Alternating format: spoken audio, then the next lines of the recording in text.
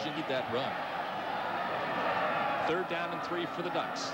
At their own 38-yard line, Musgrave straight back to the far side, complete.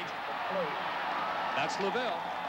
Up to the 45-yard line, enough for the first down, so the Ducks are on the move. Nice block out there by Eric Hunter, number 69. Set up that play. They pull that guard out there and kick out the contain. Did a nice job. Nothing fancy, just drop it off to a back and then uh, see if they can get some blocks and get some yardage.